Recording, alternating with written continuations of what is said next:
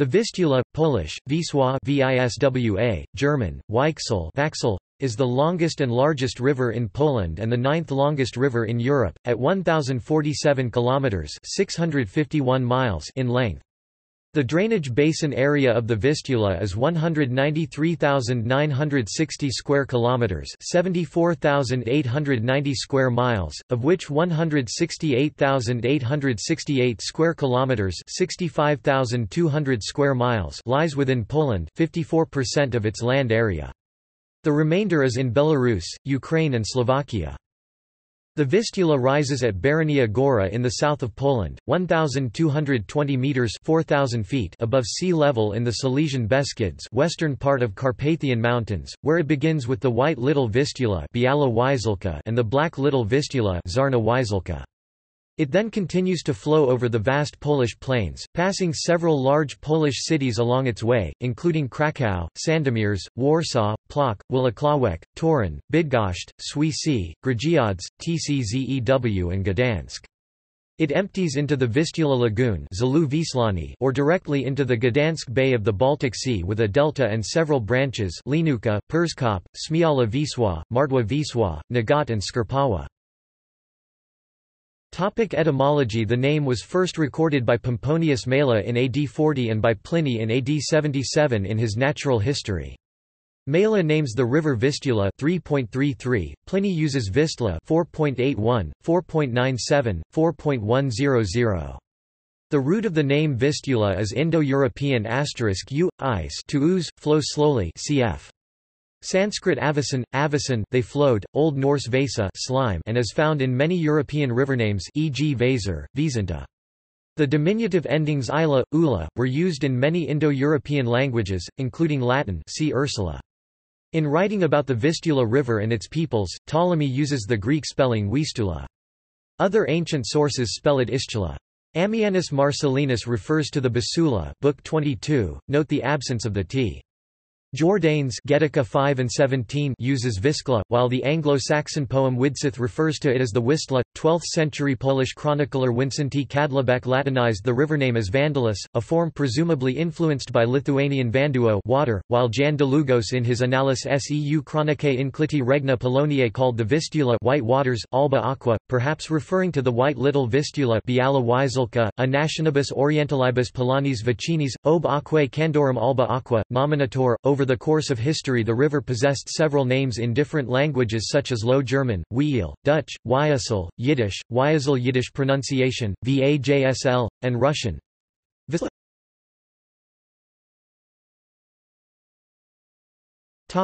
Sources The Vistula River is formed in the southern Silesian voivodeship of Poland from two sources, the Czarna black Wisełka at an altitude of 1,107 metres 3,632 feet and the Biala white Wisełka at an altitude of 1,080 metres 3,540 feet on the western slope of Barania Gora in the Silesian Beskids.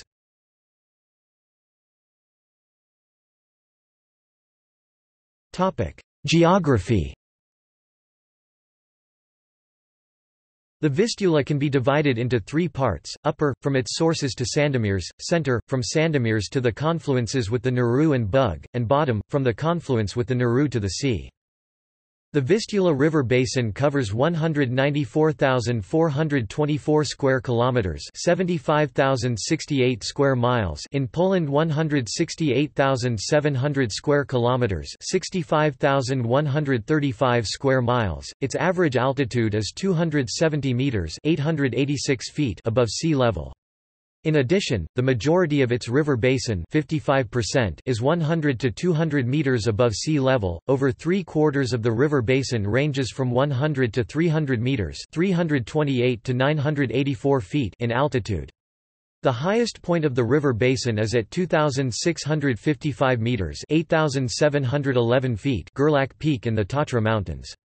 One of the features of the river basin of the Vistula is its asymmetry, in great measure resulting from the tilting direction of the Central European lowland toward the northwest, the direction of the flow of glacial waters, and considerable predisposition of its older base.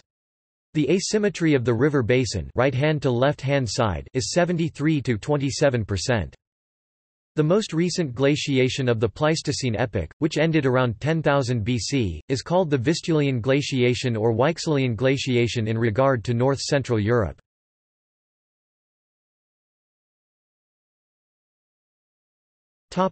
Major cities and towns along Vistula tributaries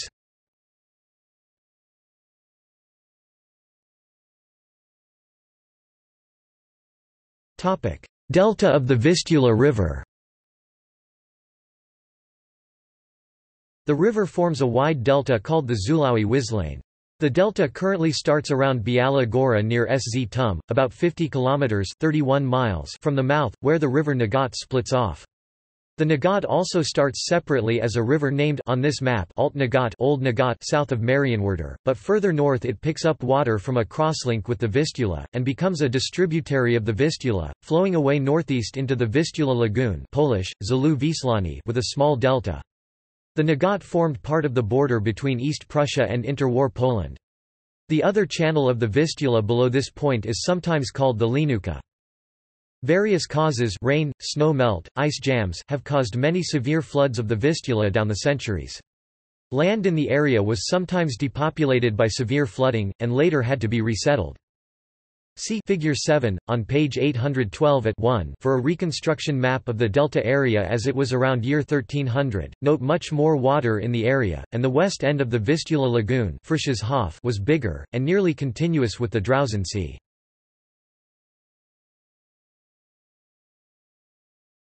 Sea. Channel changes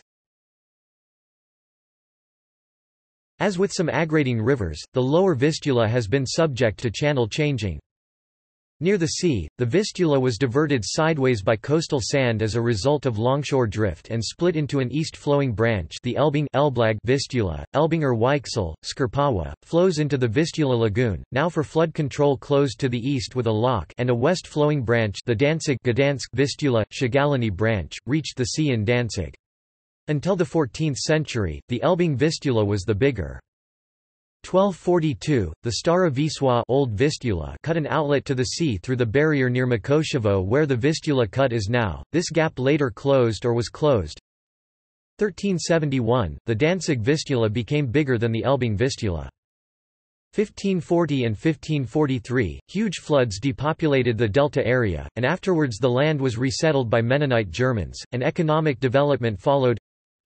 1553, by a plan made by Danzig and Elbing, a channel was dug between the Vistula and the Nagata at Weissenberg now Gora. As a result, most of the Vistula water flowed down the Nogat, which hindered navigation at Danzig by lowering the water level. This caused a long dispute about the river water between Danzig on one side and Elbing and Marienburg on the other side. 1611, Great Flood near Marienburg. 1613, as a result, a royal decree was issued to build a dam at Biala Gora, diverting only a third of the Vistula's water into the Nogat. 1618–1648 Thirty Years' War and 1655–1661 Second Northern War. In wars involving Sweden the river works at Biala Gora were destroyed or damaged. 1724, until this year the Vistula in Danzig flowed to sea straight through the east end of the Westerplatte.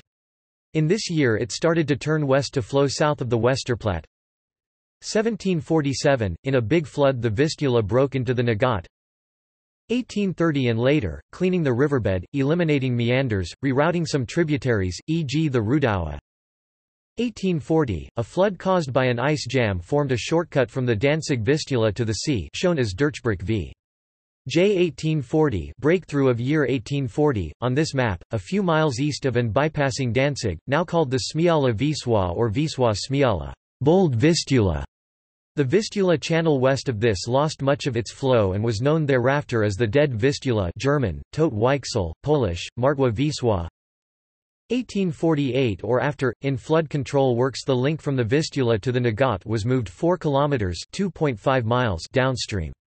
In the end, the Nogat got a fifth of the flow of the Vistula. 1888, a large flood in the Vistula delta. 1889–1895. As a result, to try to stop recurrent flooding on the lower Vistula, the Prussian government constructed an artificial channel about 12 kilometers (7.5 miles) east of Danzig, now named Gdansk, known as the Vistula Cut (German: Weichseldurchstich, Polish: Przekop Wisły) ref map from the old fork of the Danzig and Elbing Vistulas straight north to the Baltic Sea, diverting much of the Vistula's flow. One main purpose was to let the river easily flush floating ice into the sea to avoid ice jam floods downstream. This is now the main mouth of the Vistula, bypassing Gdansk. Google Earth shows only a narrow new connection with water control works with the old westward channel. The name Dead Vistula was extended to mean all of the old channel of the Vistula below this diversion. 1914–1917, the Elbing Vistula and the Dead Vistula were cut off from the new main river course with the help of locks. 1944–1945, retreating World War II German forces destroyed many flood prevention works in the area. After the war, Poland needed over 10 years to repair the damage.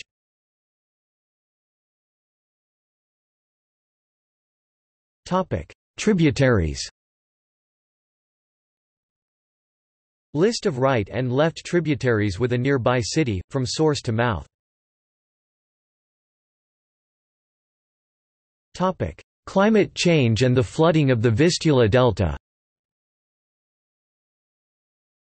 According to flood studies carried out by Professor Zbigniew Pruszak, who is the co-author of the scientific paper Implications of SLR and further studies carried out by scientists attending Poland's final International ASTRA conference, and predictions stated by climate scientists at the Climate Change Pre-Summit in Copenhagen, it is highly likely most of the Vistula Delta region which is below sea level will be flooded due to the sea level rise caused by climate change by 2100.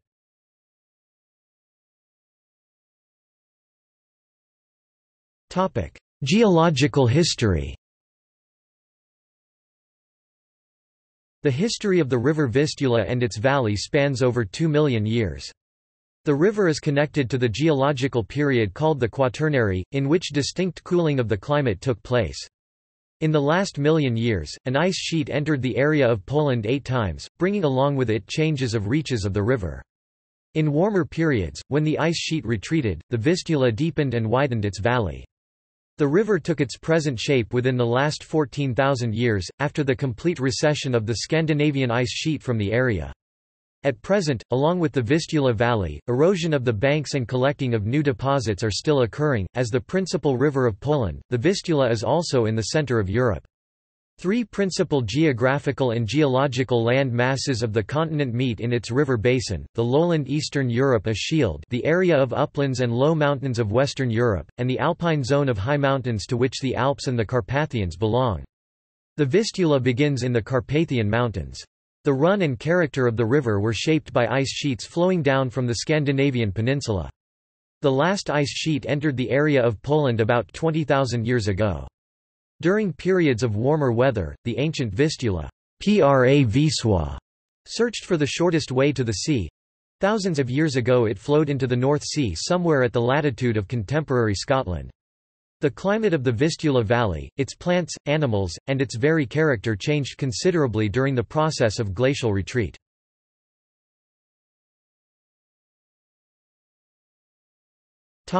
Navigation The Vistula is navigable from the Baltic Sea to Bydgoszcz where the Bydgoszcz Canal joins the river. The Vistula can accommodate modest river vessels of CEMT Class II. Farther upstream the river depth lessens. Although a project was undertaken to increase the traffic carrying capacity of the river upstream of Warsaw by building a number of locks in and around Kraków, this project was not extended further, so that navigability of the Vistula remains limited. The potential of the river would increase considerably if a restoration of the east-west connection via the Narew Bug Mukhavets Pripyat Dnieper waterways were considered. The shifting economic importance of parts of Europe may make this option more likely.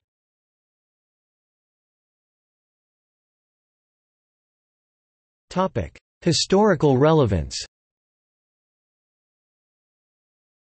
Large parts of the Vistula basin were occupied by the Iron Age Lusatian and Przeworsk cultures in the first millennium BC. Genetic analysis indicates that there has been an unbroken genetic continuity of the inhabitants over the last 3,500 years. The Vistula basin along with the lands of the Rhine, Danube, Elbe, and Oder came to be called Magna Germania by Roman authors of the 1st century AD.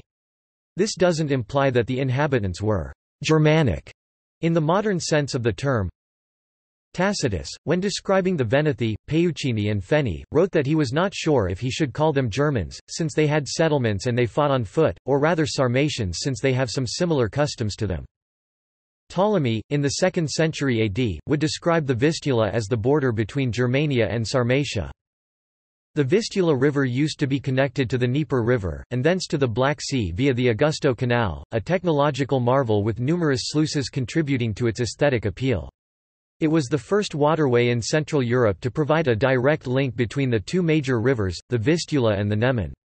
It provided a link with the Black Sea to the south through the Oginsky Canal, Dnieper River, Berezina Canal, and Dvina River. The Baltic Sea Vistula-Dnieper Black Sea route with its rivers was one of the most ancient trade routes, the Amber Road, on which amber and other items were traded from northern Europe to Greece, Asia, Egypt, and elsewhere. The Vistula estuary was settled by Slavs in the 7th and 8th century. Based on archaeological and linguistic findings, it has been postulated that these settlers moved northward along the Vistula River. This however contradicts another hypothesis supported by some researchers saying the Veleti moved westward from the Vistula Delta. A number of West Slavic Polish tribes formed small dominions beginning in the 8th century, some of which coalesced later into larger ones. Among the tribes listed in the Bavarian geographer's 9th-century document was the Vistulans in southern Poland. Kraków and Wislica were their main centers. Many Polish legends are connected with the Vistula and the beginnings of Polish statehood. One of the most enduring is that about Princess Wanda ko ni Nima who rejected the German According to the most popular variant, popularized by the 15th-century historian Jan Długosz, Wanda, daughter of King Krak, became queen of the Poles upon her father's death. She refused to marry a German prince Rytigier Rudiger, who took offense and invaded Poland, but was repelled. Wanda however committed suicide, drowning in the Vistula River, to ensure he would not invade her country again.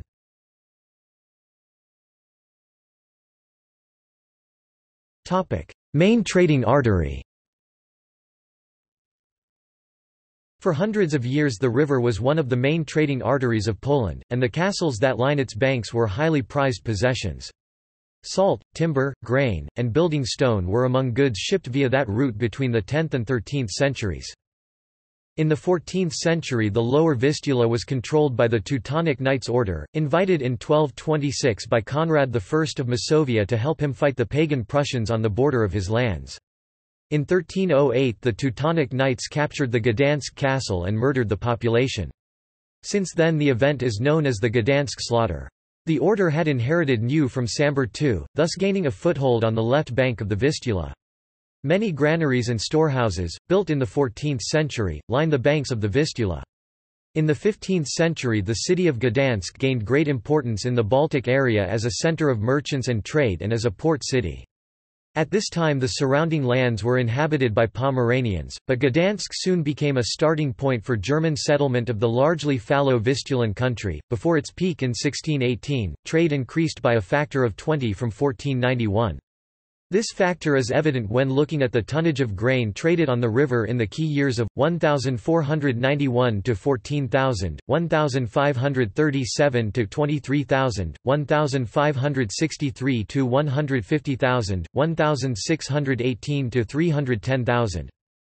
In the 16th century most of the grain exported was leaving Poland through Gdansk, which because of its location at the end of the Vistula and its tributary waterway and of its Baltic seaport trade role became the wealthiest, most highly developed, and by far the largest center of crafts and manufacturing, and the most autonomous of the Polish cities.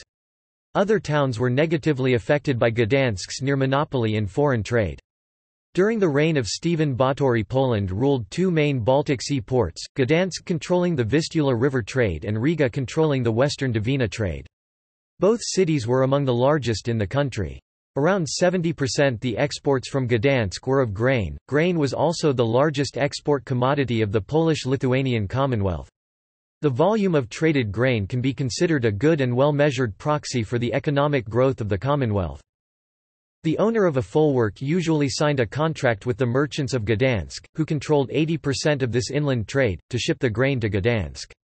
Many rivers in the Commonwealth were used for shipping, including the Vistula, which had a relatively well-developed infrastructure, with river ports and granaries. Most river shipping traveled north, with southward transport being less profitable, and barges and rafts often being sold off in Gdansk for lumber.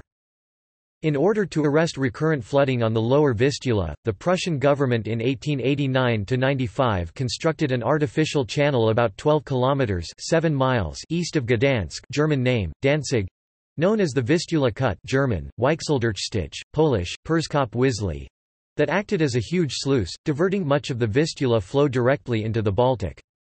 As a result, the historic Vistula channel through Gdansk lost much of its flow and was known thereafter as the Dead Vistula German, Tot Weichsel, Polish, Martwa Wisła.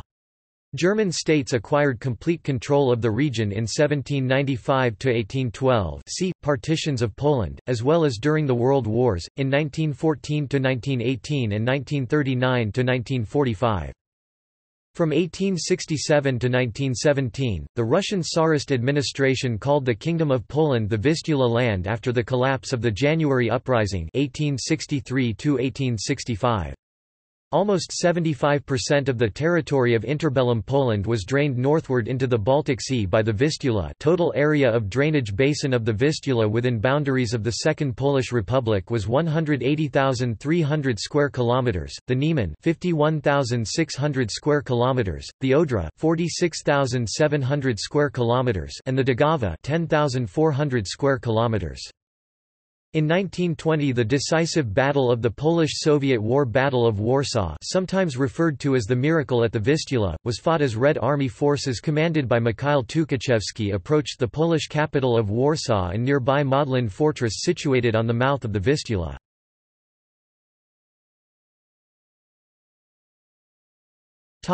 World War II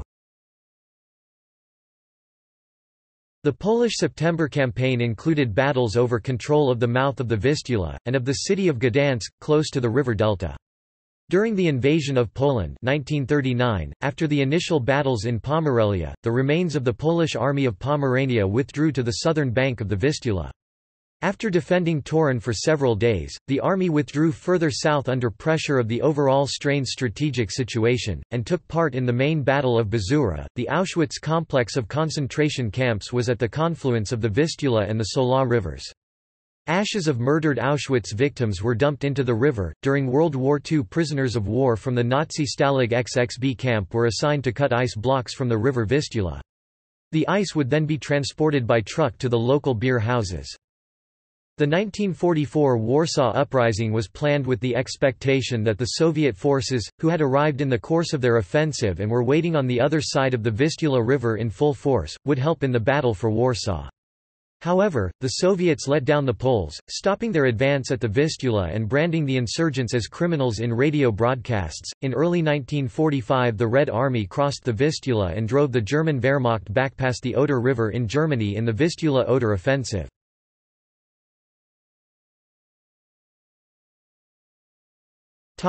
See also. Rivers of Poland. Geography of Poland.